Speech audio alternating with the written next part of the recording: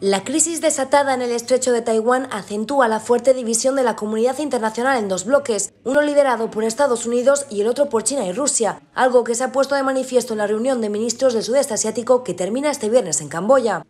La cumbre se vivió en un momento de tensión política y militar en la zona tras la visita esta semana a Taiwán de la presidenta de la Cámara de Representantes de Estados Unidos, Nancy Pelosi.